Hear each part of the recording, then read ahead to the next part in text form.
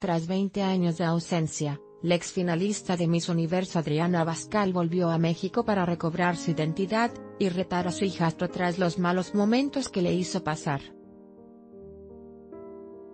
A través de la cuenta de Chacaleo en YouTube se publicó un video en el que se asegura el regreso de Adriana Bascal a tierras mexicanas después de que prácticamente su hijastro Emilio Azcarra Gallín la corriera del país luego de despojarla de la herencia que le dejó Emilio, el tigre Azcarga. También destaca que apareció en la portada del mes de noviembre de la revista Hola, donde comentó que volvió a México para mostrarle a su actual esposo Emmanuel Streder el lugar donde nació. Aún se desconoce si se quedarán a vivir un tiempo en el país o de forma permanente.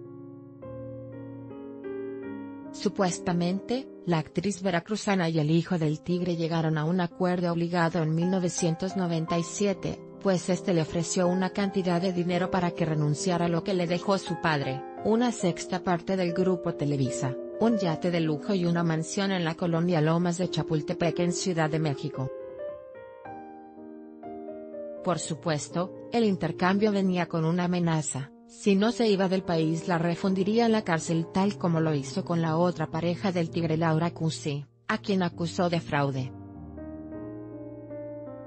Ante las intimidaciones, Adriana Bascal huyó a Francia, donde conoció a su actual esposo, pero al enterarse de que su exhijastro ya no es el presidente de Televisa, y de que en pocas ocasiones se encuentra en el país decidió volver por la puerta grande.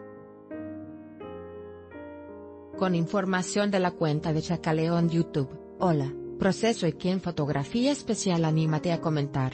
Queremos saber tu opinión. Comentarios Power Eva y Facebook Comments.